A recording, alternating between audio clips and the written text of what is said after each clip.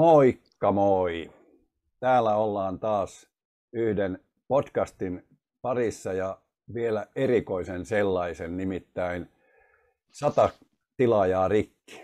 Kiitoksia kaikille ja varsinkin langan toisessa päässä olevalle Petterille. Mitä sä tuumaat? Sä oot jo aiko, aikoja sitten ylittänyt tämän rajapyykin mun piti heittää alkuun pieni puujalka vitsi, että tämä ei ole siis Eskon satavuotissynttärit eikä kymmenvuotissynttärit, vaan tota, tosiaan Eskola on sata tilaa mennyt rikki ja onneksi olkoon siis vain minunkin puolestani. En kyllä muista yhtään, mitä kysyt multa. Mä kysyin, kysyin sitä, että miltä tämä tuntuu ja mitenkä sun oma, muistaaksä yhtään tai merkkasitko yhtään ylös, että sulla meni sata tilaajaa rikki?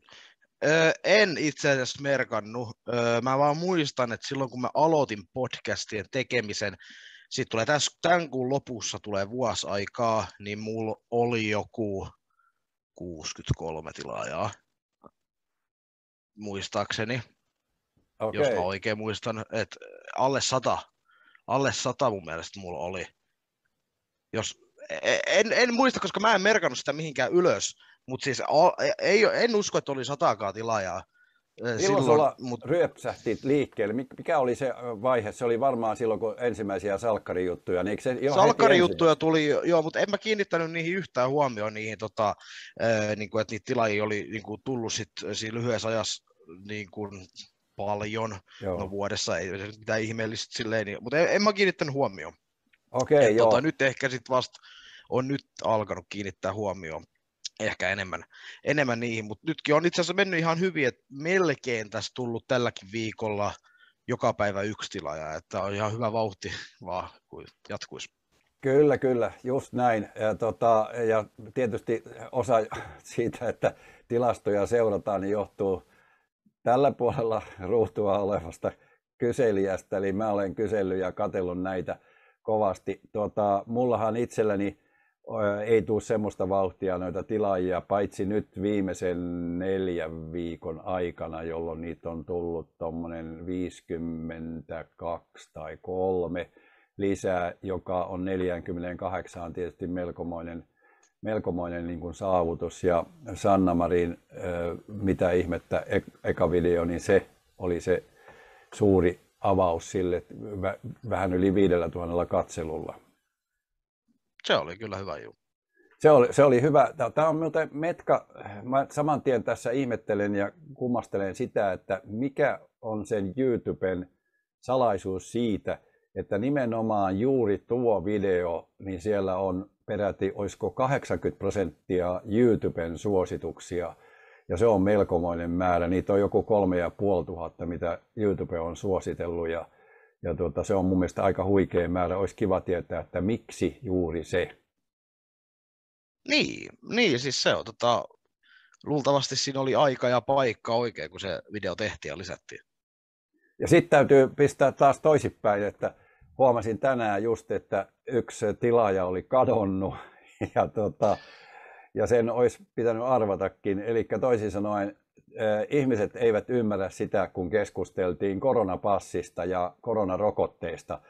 Ja se on tuonut, ei nyt ihan suoranaista vihapostia, mutta melkein siinä mielessä, että tänään lähti yksi tilaaja koronapassin takia ja tota, sitten on, tai luulen, että se on sen takia, mutta sillä koronapassin kohdalla se lukee, että yksi tilaaja hävinnyt ja sitten lisäksi niin tuota, se on kaikkein eniten alapeukkuja saanut. Ja mä en nyt vitsi, vitsi sanoa, että mikä ryhmä tai mikä, mitkä porukat sitä tekee, mutta ne samat todennäköisesti sitten alapeukuttaa tätäkin podcastia.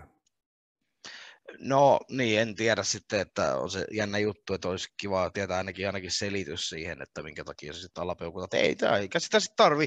YouTube antaa mahdollisuuden peukuttaa tai alapeukuttaa ja näillä säännöillä siellä sitten vaan mennä.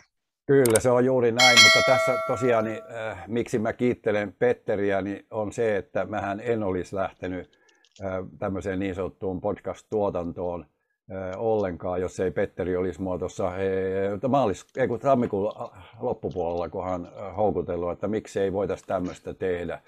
Se niin, lähti... ja, sehän, niin ja siis sehän oikeastaan niin meni vähän siihen, että no mä olin tosiaan silloin aloittanut sen mun podcastin jo, mutta sitten meillä tuli niin kuin yhteisiä juttuja liittyen niin kuin politiikkajuttuun, kun sä houkuttelit mut sitten taas niin kuin ehdolle periaatteessa ensimmäistä kertaa, ja sitten me ruvettiin tekemään niin kuin alussa sun kanavalle, niin puhuttiin vähän niin kuin politiikkajutuista, niin kuin, että esiteltiin itseämme, että ajateltiin, että tämä on hyvä niin kuin, paikka saada niin kuin, itseään näkyviin, varsinkin korona-aikana. Joo, ja sitten jos joku ihmettelee, että mikäs kaveri tämä tämmöinen 70 kaveri tota, oikein onkaan, eli minä, niin, niin tota, mä, on, mä siis tota, tai Petteri nimesi mut reissumieheksi syystä, että mä oon asunut niin monella paikkakunnalla, niin monessa asunnossa aikoinaan. En nyt viimeiseen, viimeiseen tota, 35 vuoteen ole muuttanut mihinkään, mutta tota, kuitenkin. Joo. Siitä on semmoinen lyhyt, lyhyt erillispätkä sitten vielä, vielä tuosta reissumiespuolesta. Ja jostain syystä, kummasta syystä oululainen ei ole ottanut vielä yhteyttä, yhteyttä minuun, että tota, mä mainostan heitä tällä reissumiehellä. Niin, niin. Ei se tota, mikä siinä, ei sitä ikinä tiedä, mitä, mitä, mitä tämä tuo tullessa, ja tässähän vasta ollaan alkumetreillä, että sulle, jos se on vielä vuotta tullut podcastien kanssa, mulla tulee se tämän kuun lopulla, ja sulla tulee sitten vasta tuossa talvella, eikö näin?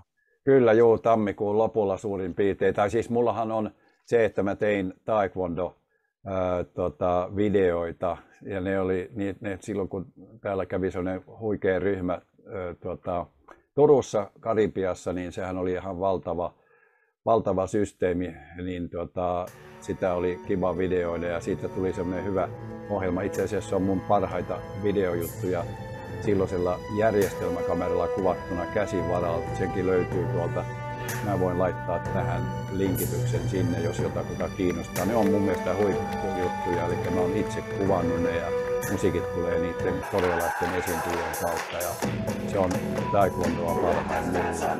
Ja tässä oli tää tämmönen, kiitos kaikille tilaajille ja, ja, tota, ja pistäkää kommentteja alle ja, ja tota, mielellään tietysti myöskin kommenttia siitä, että mitkä aiheet kiinnostaa. Mm, kyllä. Joo, kiitoksia kaikille ja palataan asioihin. Moi. Näin tehdään. Morjes.